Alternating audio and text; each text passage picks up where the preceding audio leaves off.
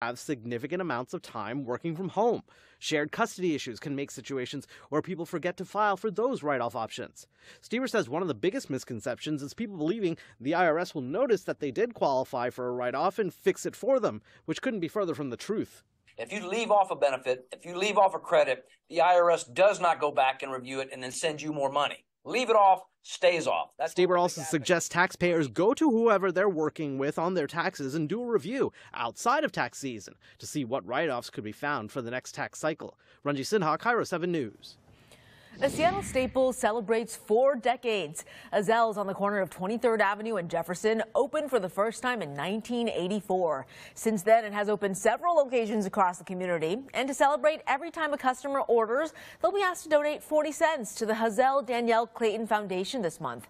It supports local youth programs focused on economics and education. Still ahead, a dog napper caught. The lengths one woman went to get back her pet and the charges someone is now facing for stealing it. But first, a torrential downpour. The first sight of destruction in Southern California as an atmospheric river hits. Some Olympia legislators want a new tax, a real estate sales tax. It'll hit small businesses, apartment buildings, senior housing, most construction. The cost will be passed to renters, seniors, small businesses, and their customers. Then they can expand the new tax to hit family housing even more. Who will pay? I will. I will. I will. I will. I will. I will. I will. I will. We can handle any customer plumbing need, essentially from soup to nuts. Uh, we do sewer repairs, we do sewer installs, we do storm repairs, storm installs, we can install catch basins. One call, total solution, carefree for the customer. That's the best way. And this gentleman here is Walter Zaney. So he started Greenwood? Back in 1918. Wait, you're named after the founder. Sitting next to him is my great great great grandpup, Baxter. No way. Is that a Lennox Torrid Zone furnace? Proudly installed by Greenwood, of course. Man, a lot sure has changed over the years. With technology, sure, but we've never strayed from our commitment to providing you with a more comfortable home.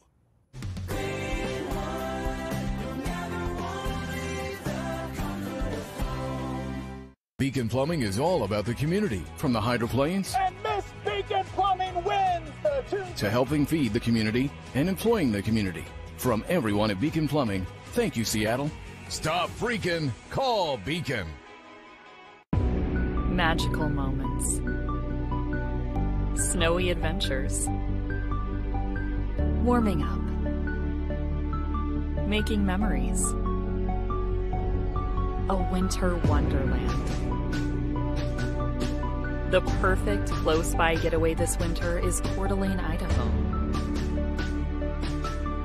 Find countless ways to play and plan your escape at cdawinter.com.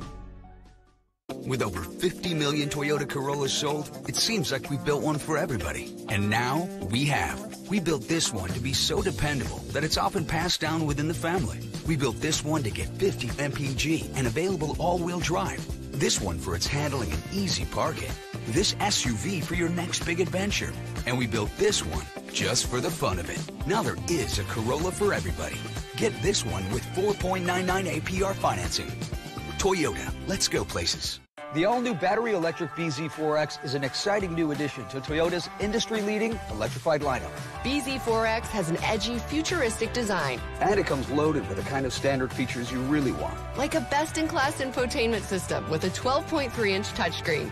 Easy to charge, easy to start, easy to connect. Toyota makes electric easy with the BZ4X. Now you can get 0% APR financing on a new 23 BZ4X or lease one for just 369 a month. Toyota, let's go places. KIRO 7 News, live at 4. Tonight, devastation in California. A massive atmospheric river hitting the south end of the state, and it is just beginning. This is a live look at Santa Monica Pier, and you can see skies are gray. And just a couple of seconds ago, we saw very choppy waves out there. Thanks for joining us this afternoon. I'm Dee Dee Sun. This atmospheric river is packing a punch and the damage already starting. Trees already falling from strong winds and rain. Snow is piling up in the Sierras.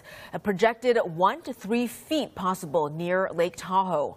The shore seeing major waves down south. Now, this is a sailboat that washed up on a beach in Santa Barbara. Most beaches are closed right now. California Governor Gavin Newsom on standby at the state's operations center, helping coordinate where aid will have to go. And California has a record 8,500 state coordinated emergency responders on standby for these storms. They are preparing for the worst.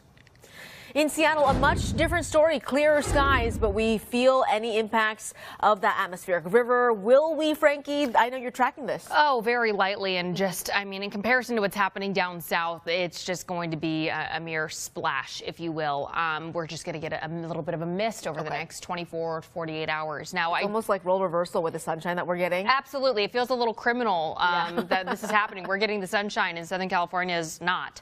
Um, this is a look right now. So from Santa Monica, I'm pulling you down to San Diego. This is a view from the Hotel Del uh, in Coronado, California, against San Diego area. It, this camera has been very active since I pulled it up because it's keeping, it's doing surveillance. We've been seeing some trees that have been slightly uh, bent back, these palm trees from the 20 mile per hour sustained wind speeds that are moving through. And we've also been seeing folks out there who are trying to maybe get their towels. The towels are blowing out of control. Um, you're probably thinking, well, why do we care about this? This is Southern California. We're in Washington. Well, this is kind of how this all played out. So we talked yesterday about a low pressure event that was sitting just adjacent to our shore water, so sitting over the Pacific. And over the yesterday to about today, we saw that that low pressure system continued to sink further south. Low pressure systems move in a counterclockwise motion. So as we continue to see a lot of this atmospheric river event coming, the Pineapple Express coming out of uh, Hawaii, we'll see that because of the positioning of this low pressure system, it's really just keeping this heavier rain, some of the snow events and wind just consolidated into that Southern California region, an area that it doesn't do well with absorbing all of that moisture. Now, that's what's going on there. Lots of uh, concerns, but how does that affect us? I'll have a little bit more context for some of the spritzes we can see our way coming up in my full forecast. All right. Thanks, Frankie. What's the name? I don't know. New video takes us inside the ambulance as first responders get their first look at a woman who fought to escape her kidnapper last November. The woman you are looking at now ran a quarter mile barefoot to a neighbor's house begging for help after being beaten with what investigators believe to be a chair leg. To this date, police don't know why or how she got to, the, to, she got to that alleged kidnapper. He has been identified as 75-year-old David Ruffier. His body was found after he shot himself. I came here from my death house. And now with Amnesty coming in, you know, many of us here are just saying, you know, maybe we can't stay. Families in Tacoma are pushing back against plans for an old Tacoma church. The owners are trying to convert this historic building into affordable housing. KIRO 7's Louis Tran shares how neighbors are worried how that new housing development will impact the neighborhood. That's correct. This church is at the center of this neighborhood. The owners of this property tell me that they plan to have around 40 to 50 tenants inside this building. Now for the neighbors, several tell me that they are worried about traffic, limited parking spaces, and now the safety of the kids. I have a feeling it's just going to bring some chaos to the neighborhood that just never existed. Tyler Colbo is concerned about his Tacoma neighborhood as the future of this historic church could be changing. This idea is um, blossoming around the country. Andrew Kane, the co-owner of this property, says that they're trying to convert this historic building into affordable housing.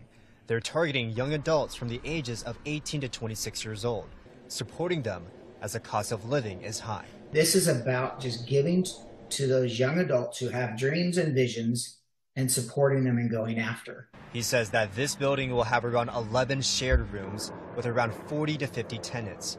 He tells me that all of them will take part in a mentorship program, and drinks and drugs are not allowed inside the building.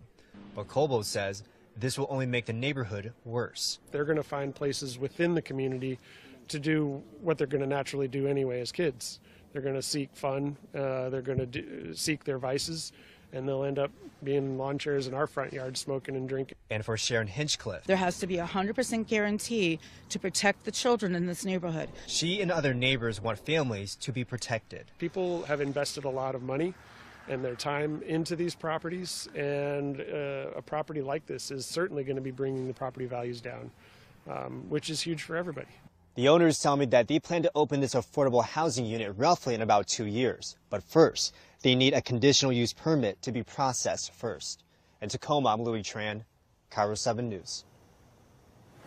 Crews are repairing concrete panels in South Seattle as a part of Revive I-5 today.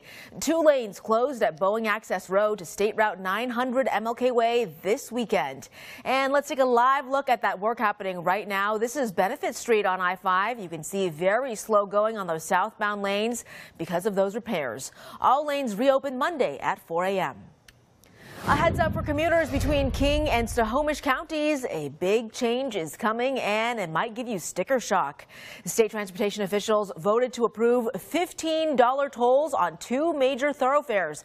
It'll bump up the cost, which is currently $10 on I-405, and it'll go from $9 to $15 during peak hours on State Route 167. The change will affect drivers taking express and HOV lanes from Lynnwood down to Auburn. The question now is how often will you have to pay this?